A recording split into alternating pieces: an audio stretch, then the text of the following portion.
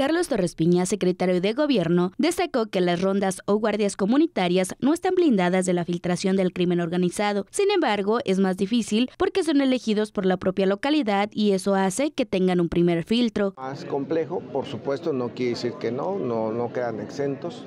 Aquí eh, la importancia de esto es que solo son el acompañamiento a dichas rondas las comunidades que decidan transitar por presupuesto directo, toda vez que ellos ejercen el Fondo 4 y por lo tanto tiene que realizarse de acuerdo a los establecimientos, lineamientos que regula dicho recurso.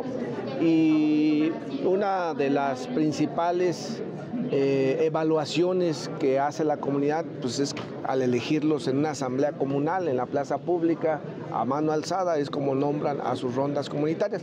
Esa es una primera certificación o un voto de confianza en la comunidad. Destacó que la votación a mano alzada para la conformación de las rondas es bueno, porque es gente de la misma comunidad y todo el mundo se conoce y les da el voto de confianza, por lo que una vez que reciben la capacitación y certificación policial por parte del Estado, es muy difícil que los grupos criminales intervengan. Por supuesto que estamos muy atentos, ahorita de las 28 comunidades que ya han decidido transitar, estamos eh, trabajando con 22 ya en la certificación de sus elementos. Las otras no quiere decir que no, sino que apenas van arrancando su proceso, su responsabilidad y en el transcurso de lo que va del año yo creo que se estarán incorporando. ¿Cuántas guardias se prevé que se vayan a armar este año eh, con la compra consolidada de armas y los permisos de Sedena y todo, secretario? No pues mira, en el caso de las comunidades del Oriente, que fueron 70 cadetes los que ya salieron el 20 de enero, eh, ellos solicitaron la compra de algún armamento vía del programa Fortapaz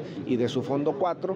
Normalmente el mecanismo tarda un año, año y medio en llegar, entonces estaríamos a la espera de que se pueda complementar con ese mecanismo de compra. De las 26 comunidades que reciben recurso directo y tienen conformadas sus rondas comunitarias, 22 están en proceso de certificación de elementos. Los 70 cadetes que recientemente se graduaron en Zitácuaro ya solicitaron la compra de armamento para la defensa de su territorio. Mientras tanto, se apoyarán de la Guardia Civil y Guardia Nacional. Con imágenes e información de Margarita Reola, Noti 13.